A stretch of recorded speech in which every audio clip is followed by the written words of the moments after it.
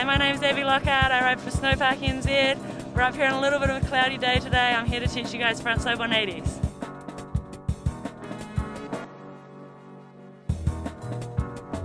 Frontside 180 is a cool trick. It feels red the whole way. You get to see everything in land switch.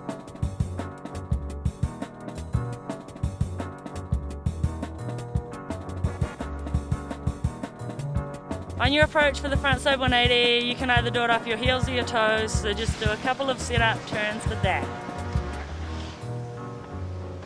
As you come up the takeoff, you want to have a nice flat base. When you get to the lip, you want to pop it off your heels, open your shoulders and bring your knees up.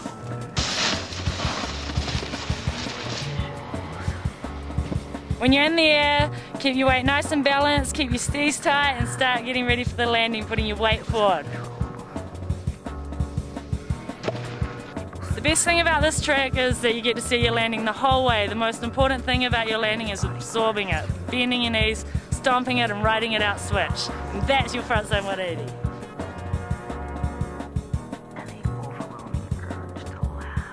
To recap the frontside 180, take a couple of setup turns, pop it off your heels, open your shoulders, bring your knees up, stomp it and ride out switch.